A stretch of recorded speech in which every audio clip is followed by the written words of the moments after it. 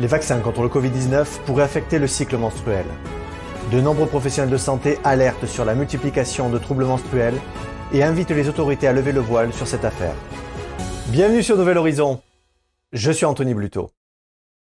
Nous allons aborder aujourd'hui un des possibles effets secondaires liés au vaccin du Covid-19 et qui affecterait le cycle menstruel. Nous précisons bien qu'à ce jour, rien ne peut l'affirmer, mais des faits troublants montrent une augmentation significative de perturbations sévères du cycle menstruel chez certaines femmes.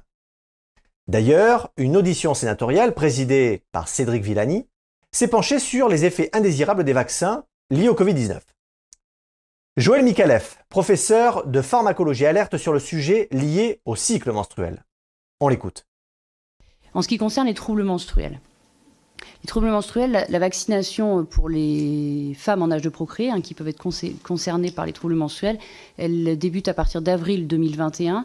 Et dès le mois de juin, on repère effectivement qu'il y a des saignements et des saignements menstruels qui nous surprennent. Et donc, on, indique effectivement au comité de suivi en juin 2021 que ces troubles-là euh, nous préoccupent, je ne sais pas si ça nous préoccupe, mais en tout cas nous surprennent et qu'on souhaite euh, les suivre particulièrement. Qu'on est effectivement surpris du nombre de, déclarations sur ce sujet-là.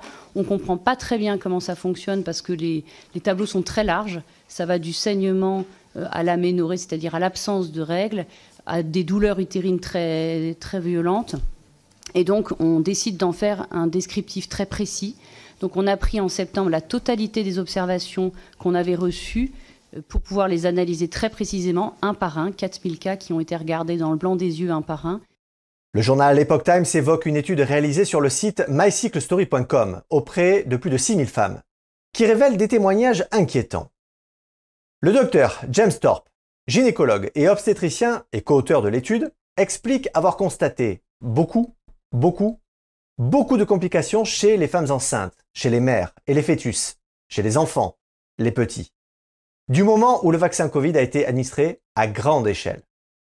Et il ne manque pas d'ajouter mort fétale, fausse couche, mort du fœtus in utero, ce que j'ai vu au cours des deux dernières années est sans précédent. L'autre fait marquant de cette enquête concerne ce que l'on nomme le plâtre décidual. Alors derrière ce terme un peu barbare se cache un phénomène très peu connu de la littérature scientifique, puisqu'il est rarissime. Moins de 40 cas en plus de 100 ans ont été dénombrés, Sauf que les chiffres qui vont suivre changent la donne, puisqu'au cours des 8 derniers mois de 2021, 292 cas ont été signalés par les 6000 répondantes qui ont participé à l'enquête.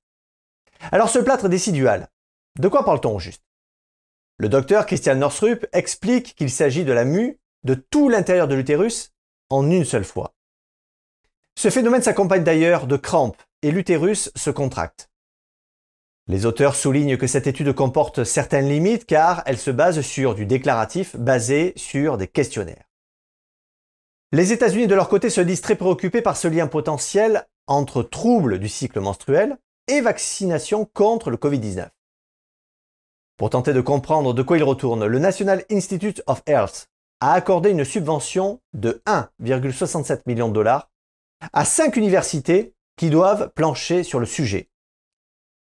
Les résultats se veulent rassurants. Le professeur Alison Edelman, auteur de l'étude, a déclaré à l'AFP qu'ils n'ont pas trouvé de changement cliniquement significatif dans la durée du cycle menstruel associé à la vaccination de Covid-19. De son côté, l'Agence nationale de la sécurité du médicament a recensé à fin mars 4432 cas de troubles liés au cycle menstruel.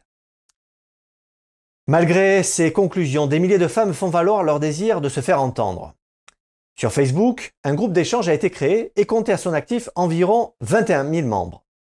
Mais la plateforme a pris la décision de supprimer purement et simplement ce groupe. Pour Tiffany Parotto, fondatrice de MyCycle Story, il s'agit de censure. Madame Parotto a d'ailleurs signalé à Epoch Times que selon elle, il semble acceptable que la voix des femmes soit complètement supprimée. Du coup, un certain nombre de femmes ont le sentiment de ne pas être écoutées. D'autres, comme Mélodie, ont bien décidé d'en parler. Pour nourrir une discussion autour de ce sujet, elle confie à Marie-Claire avoir lancé sur un compte Instagram un nom. On ne peut plus clair, vaccin menstruel. Devinez quoi?